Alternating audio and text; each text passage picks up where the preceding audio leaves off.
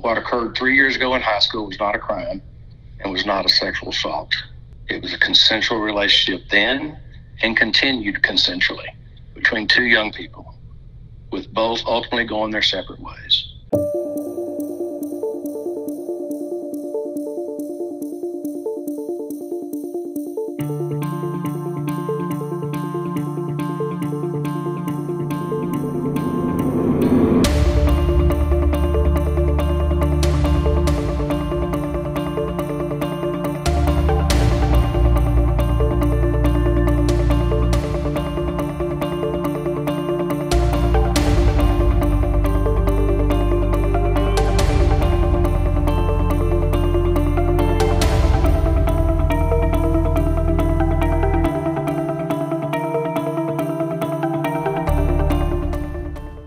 That's when I knew I had to tell him.